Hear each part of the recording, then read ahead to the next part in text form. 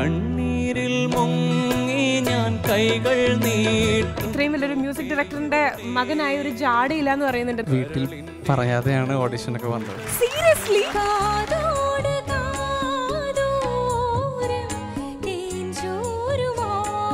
തേൻ ചോരുന്ന ആ മന്ത്രം സ്നേഹപ്പാടി എന്നുള്ളതാണ് ഇത് ഓഡിയൻസ് കേൾക്കുമ്പോൾ ഭയങ്കരമായിട്ട് അവർ മോളെ ഇഷ്ടപ്പെടും ഈ പാട്ട് കേൾക്കുമ്പോൾ റഹ്മത്തും ബർക്കത്തും ഞാമത്തും ഹിദായത്തും ശുജാഅത്തും കനിഞ്ഞുള്ള ഗുരുദുതരെ കുഞ്ഞു മോനാണോ കുഞ്ഞോനാണോ കുഞ്ഞുമോൻ.